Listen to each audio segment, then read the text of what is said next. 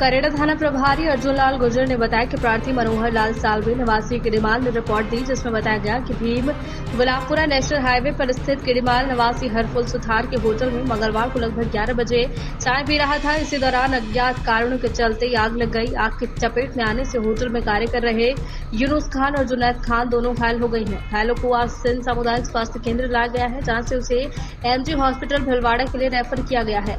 मौके पर दोनों तरफ़ लंबा जाम लग गया। वहीं तीन से चार बाइक भी जल गई और इस दौरान सूत्रों के हवाले से मिली जानकारी के अनुसार मौके पर बायोडीजल में ड्रम भरे हुए थे, जिसमें आग पकड़ ली, जिससे आग ने विकराल रूप ले लिया, जो कि 15 किलोमीटर दूर से ही धुआँ दिखाई दे रहा था।